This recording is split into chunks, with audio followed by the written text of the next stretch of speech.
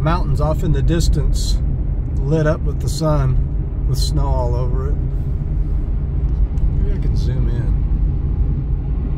Ooh, there we go. See if I can not wreck.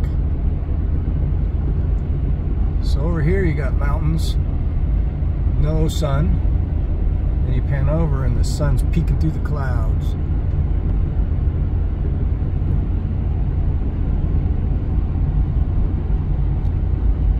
This is what you get to see on the drive home from the mesa.